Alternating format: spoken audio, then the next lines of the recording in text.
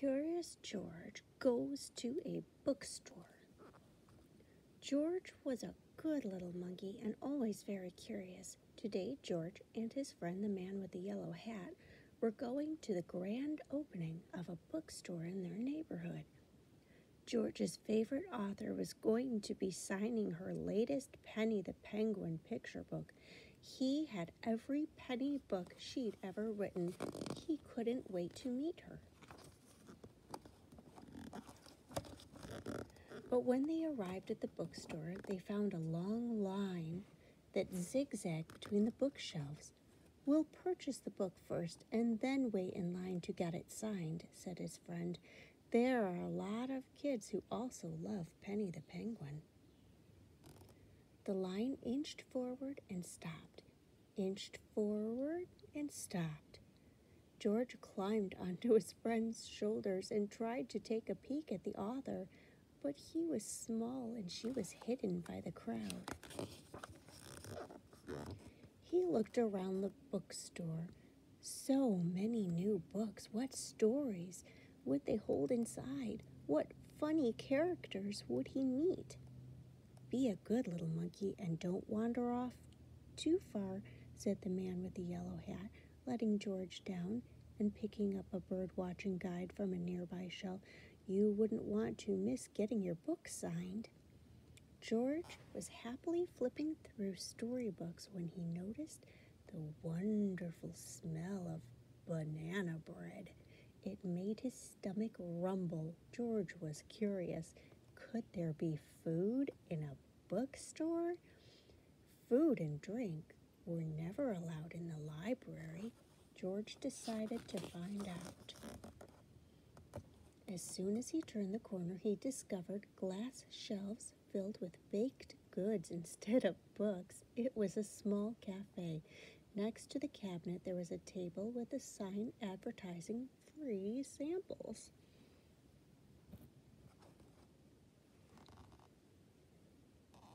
A little girl saw George and tugged on her father's sleeve. Daddy, look, that monkey likes banana bread too. Yes, I suppose monkeys would enjoy banana bread, he responded, still looking at his book. While George was reaching for another sample, and then another, and another, he saw the little girl and her father leave the cafe area. Tucked under the girl's arm was George's favorite dinosaur book. He decided to follow them. They led him past a display of dinosaur books in the science area of the store. The display was as tall as the man with the yellow hat. It was hard to resist for a little monkey who loves to climb. George climbed onto the first tier. With so many books to look at, he wasn't sure where to start. He saw his favorite dinosaur book, but he also saw other books one picture, one pictured in Apatosaurus eating leaves, and another showed uh, pterodactyls soaring above waterfalls. He climbed from tier to tier until he reached the top. From above, he noticed a stack of boxes in the corner of the store. The boxes were shaped like presents, but the bows and wrapping paper were missing. What could be inside them? George leaped down and opened the boxes. They each contained a stack of the newest Penny the Penguin picture book. George wondered why were the books in boxes? They should be in a big display like the dinosaur books. George had an idea.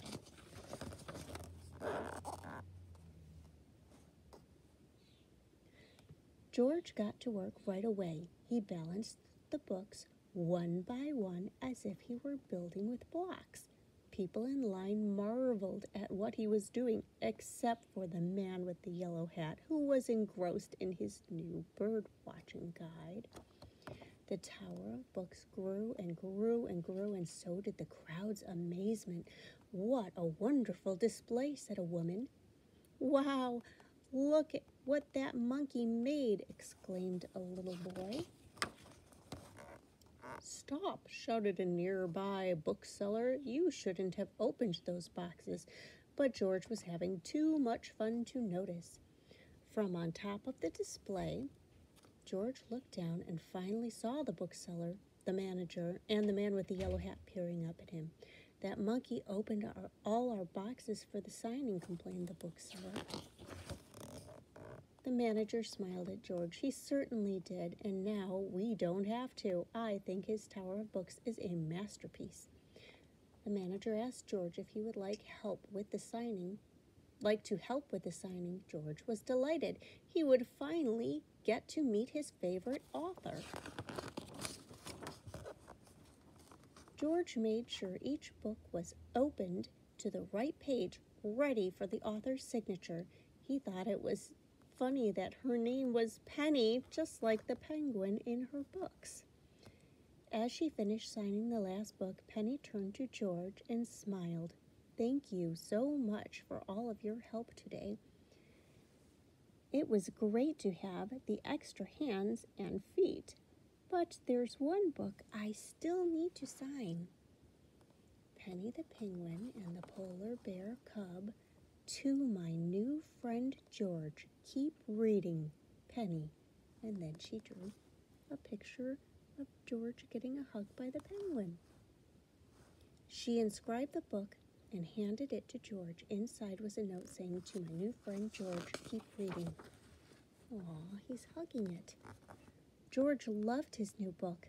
It was special and one of a kind. He'd had such an adventurous day at the bookstore, he couldn't wait to visit again.